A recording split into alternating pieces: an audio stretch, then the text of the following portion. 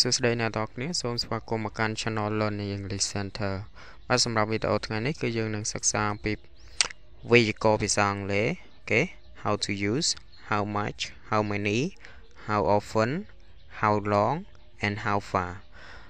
okay អញ្ចឹងអ្នកទាំងអស់គ្នានឹងបានសិក្សាលម្អិតអំពីការប្រើប្រាស់ how much how many how often how long ហើយនិង how far តាមរយៈវីដេអូមួយនេះខ្ញុំនឹងបង្ហាញអ្នកទាំងអស់គ្នាអំពីការប្រើប្រាស់របស់វាហើយនិងឧទាហរណ៍ខ្លះៗអំពីពាក្យទាំងអស់ហ្នឹងអូខេអឺជាដំបូងគឺយើងនិយាយអំពី how much តើតើ how much គឺត្រូវបានគេប្រើប្រាស់នៅពេលណាយ៉ា how much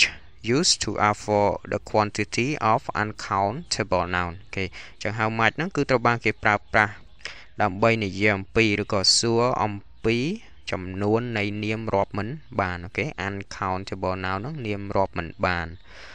okay អញ្ចឹងយើងមើលអឺចំណុចមួយទៀត used to ask for the price of something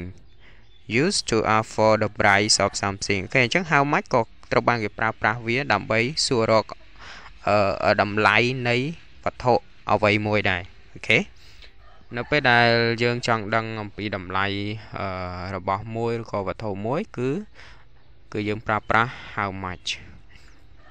អូខេអញ្ចឹងយើងមើលឧទាហរណ៍ទាំងអស់គ្នា how much money do you have how much money do you have អូខេអញ្ចឹងឧទាហរណ៍នេះគឺយើងប្រែថាតើអ្នកមានលុយចំនួនប៉ុន្មាន okay អញ្ចឹងលុយហ្នឹងគឺជានាមដែលរាប់មិនបានអូខេ uncountable noun នាមដែលរាប់បានអញ្ចឹងហើយគឺយើងប្រើប្រាស់ how much ដើម្បីសួររកនៅចំនួនលុយដែលអ្នកអ្នកមាននឹងឯងអូខេឧទាហរណ៍ផ្សេងទៀត how much water do you drink per day how much water do you drink per day តើអ្នកផឹកទឹកចំនួនប៉ុន្មានក្នុងមួយ មួយថ្ងៃអូខេតើអ្នកផឹកទឹកអស់ចំនួនប្រមាណក្នុងមួយថ្ងៃអញ្ចឹង water ហ្នឹងគឺជា uncountable noun ជានាមដែលរាប់មិនបានអញ្ចឹងហើយគឺយើងប្រើប្រាស់ how much ដើម្បីសួររកនៅចំនួនទឹកដែលអ្នកផឹកក្នុងមួយថ្ងៃហ្នឹងឯងឧទាហរណ៍មួយទៀត how much is your phone how much is your phone អូខេសម្រាប់ឧទាហរណ៍នេះគឺ how much កន្លែងហ្នឹងគឺត្រូវបានគេប្រើប្រាស់វាដើម្បីសួររកនៅតម្លៃតម្លៃទូរស័ព្ទហ្នឹងតើតើ ទូរស័ព្ទរបស់អ្នកថ្លៃប៉ុន្មានអូខេអញ្ចឹងយើងប្រើប្រាស់ how much how much is your phone ឧទាហរណ៍មួយទៀត how much are your shoes how much are your shoes អូខេអញ្ចឹងកន្លែងហ្នឹងគឺ how much គឺត្រូវបានគេប្រើប្រាស់ដើម្បីសួររកនៅតម្លៃនៃស្បែកជើងរបស់អ្នកតើតើស្បែកជើងរបស់អ្នកគឺមានតម្លៃប៉ុនប៉ុន្មាន okay អញ្ចឹងអ្នកទាំងអស់គ្នាគ្រាន់តែចំណាំថាឈរនៅពីក្រោយ how much នេះគឺជា to be គឺ how much គឺ ប្រើប្រាស់ដើម្បីសួររកនៅតម្លៃអ្វីមួយហើយ okayអញ្ចឹងយើងមើលមួយចំណុចទៀត how many ថាតើ how many ហ្នឹងគឺត្រូវបានគេប្រើប្រាស់ដើម្បីនិយាយអំពីអ្វីណា how many used to ask for the quantity of countable noun okay how many used to ask for the quantity of countable noun okay អញ្ចឹង how many ហ្នឹងគឺត្រូវបានគេប្រើប្រាស់វាដើម្បីសួររកនៅចំនួននៃនាមរាប់បានអូខេ countable noun នាមរាប់បាន គឺជានាមដែលយើងអាចរាប់បាន1 2 3ចំនួនវា1 2 3 4 5អញ្ចឹងទៅដូចជាសភៅមួយក្បាលអូខេបិចមួយដើមហ្នឹងគេហៅថានាមដែលដែលយើងអាចរាប់បានភាសាអង់គ្លេសគឺ countable noun បាទយើងមើលឧទាហរណ៍ how many students are there in this class how many students are there in this class អូខេតើមានសិស្សចំនួនប៉ុន្មានអ្នកនៅក្នុងថ្នាក់នេះ okay អញ្ចឹងសិស្សគឺជានាមរាប់បាន okay ជា countable noun អញ្ចឹងគឺយើងប្រើប្រាស់ how many ដើម្បីជាពាក្យចោទសួរចំនួនសិស្សដែលមាននៅក្នុងថ្នាក់នេះតើតើមានចំនួនប៉ុន្មាន okay ឧទាហរណ៍ផ្សេងទៀត How many hours do you study English per day How many hours do you study English per day អូខេតើអ្នកសិក្សាភាសាអង់គ្លេសចំនួនប៉ុន្មានម៉ោងក្នុងមួយថ្ងៃ okay អញ្ចឹង hours នេះគឺជានាមដែលរាប់បាន ជា countable noun គឺយើងប្រើប្រាស់ how many ដើម្បីសួររកនៅចំនួនម៉ោងដែលអ្នករៀនភាសាអង់គ្លេស ក្នុងមួយថ្ងៃតើតើអ្នករៀនចំនួនប៉ុន្មានម៉ោង okayឧទាហរណ៍ផ្សេងទៀត How many members are there in your family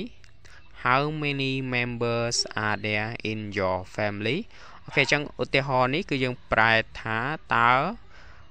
មានសមាជិកចំនួនប៉ុន្មានអ្នកនៅក្នុងគ្រួសាររបស់អ្នកអូខេអញ្ចឹង members គឺជា countable noun គឺជានាមដែលរាប់បាន យើងប្រើប្រាស់ how many ដើម្បីសួររកចំនួនសមាជិកនៅក្នុងគ្រួសារអ្នកតើតើមានចំនួនប៉ុន្មានអ្នកអូខេអញ្ចឹងអ្នកទាំងអស់គ្នាចាំនៅពេលដែលនៅពេលណាដែលអ្នកទាំងអស់គ្នាប្រើប្រាស់ how many នាមដែលដែលឈរនៅពីក្រោយ how many ហ្នឹងគឺយើងសរសេរជាទម្រង់ពហុវចនៈអូខេជា plural noun ដែលមាន time s នៅពីក្រោយ students នឹង time s នេះគឺ យើងសរសេរជានាមពហុវចនៈអូខេ plural plural noun okay hours ជា plural members ក៏សរសេរជា plural អញ្ចឹងរាល់នាមទាំងអស់ណាដែលឈរនៅពីក្រោយ how many គឺយើងសរសេរជាទម្រង់ plural ជានិច្ច okay យើងចូលមួយចំណុចទៀតនិយាយអំពី how often okay how often តើតើ how often ត្រូវបានគេប្រើប្រាស់វាដើម្បីនិយាយពីអីអូខេ how often used to ask for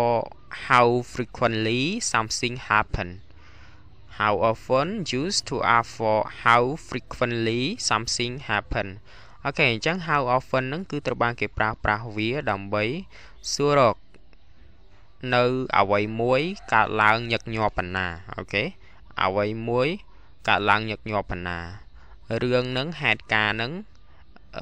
ព្រឹត្តិការណ៍ហ្នឹងវាកើតឡើងញឹកញាប់ប៉ុណ្ណា គឺគេគឺគេប្រើប្រាស់ how often ដើម្បីបង្កើតជាពាក្យចោទសួរអូខេអញ្ចឹងអឺដើម្បីឲ្យឈប់កាន់តែច្បាស់គឺយើងទៅមើលឧទាហរណ៍ How often do you brush your teeth How often do you brush your teeth okay តើតើអ្នកដុសធ្មេញរបស់អ្នកញឹកញាប់ប៉ុណ្ណាដែរ okay How often do you brush your your teeth តើអ្នកដុសធ្មេញរបស់អ្នកញឹកញាប់ប៉ុណ្ណាដែរអញ្ចឹង how often ហ្នឹងគឺត្រូវបានគេប្រើប្រាស់ដើម្បីសួររកសកម្មភាពនៃការដុសធ្មេញរបស់អ្នកថាតើអ្នកដុសធ្មេញរបស់អ្នកហ្នឹងញឹកញាប់ប៉ុណ្ណាប្រហែលដងដែរក្នុងមួយថ្ងៃអញ្ចឹងទៅអញ្ចឹងគឺប្រាប់គឺគេប្រើប្រាស់ how of often ឧទាហរណ៍ផ្សេងទៀត how often do you do your uh, how often do you do exercise how often do you do exercise តើអ្នកហាត់ប្រាណញឹកញាប់ប៉ុណ្ណាដែរអូខេតើអ្នកហាត់ប្រាណញឹកញាប់ប៉ុណ្ណាដែរ how often កន្លែងហ្នឹងគឺគេប្រើប្រាស់វាដើម្បីសួររកនៅអឺសកម្មភាពដែលអ្នកហាត់ប្រាណហ្នឹងថាតើអ្នកហាត់ប្រាណអឺញឹកញាប់ប៉ុណ្ណាប្រហែលដងដែរក្នុងមួយថ្ងៃឬក៏មួយសប្តាហ៍អញ្ចឹងទៅគឺគេប្រើប្រាស់ how often អូខេ បើឧទាហរណ៍មួយទៀត how often does it happen how often does it happen តើតើវាកើតឡើងញឹកញាប់ប៉ុណ្ណាដែរអារឿងមួយហ្នឹងវាកើតឡើងញឹកញាប់ប៉ុន្មានដែរប៉ុណ្ណាដែរអូខេអញ្ចឹងគឺត្រូវបានគេប្រើប្រាស់ how often អូខេ how often គឺគេប្រើប្រាស់វាដើម្បីសួររកនៅ សកម្មភាពឬក៏ហេតុការណ៍អីមួយកើតឡើងញឹកញាប់ប៉ុណ្ណា okay how often អឺចំណុចមួយទៀតគឺ how long how long តើតើ how long គេប្រើប្រាស់វាដើម្បីសួររកអ្វីគេ how long used to ask for duration how long used to ask for duration okay duration ហ្នឹងគឺខ្ញុំប្រើថារយៈពេលអញ្ចឹង how long ហ្នឹងគឺត្រូវបានគេប្រើប្រាស់ដើម្បីសួររករយៈពេលតើតើវាយូរប៉ុណ្ណាអញ្ចឹងទៅ okay ឧទាហរណ៍ How long have you got married How long have you got married អូខេតើតើអ្នករៀបការអស់រយៈពេលយូរប៉ុណ្ណាហើយ okay អ្នកបានរៀបការហ្នឹងអស់រយៈពេលយូរប៉ុណ្ណាដែរអញ្ចឹងគឺយើងប្រើប្រាស់ how long ដើម្បីសួររកនៅរយៈពេលដែលគាត់បានរៀបការតើតើគាត់រៀបការនឹងបានរយៈពេលប្រមាណហើយឧទាហរណ៍មួយទៀត How long have you studied English How long have you studied English តើអ្នកបានសិក្សាភាសាអង់គ្លេសនឹងអស់រយៈពេលប៉ុណ្ណាហើយ គេអស់រយៈពេលយូរប៉ុណ្ណាហើយជាងប្រើប្រាស់ how long ឧទាហរណ៍ផ្សេងទៀត How long does it take to get your school How long does it take to get to school អូខេតើវាចំណាយពេលអស់រយៈពេលប៉ុន្មានក្នុងការធ្វើដំណើរទៅសាលារៀន